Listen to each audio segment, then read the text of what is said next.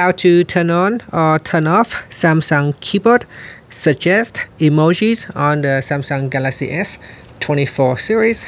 First tap on the home button to go back to the home screen. Then from the home screen, swipe down at the top.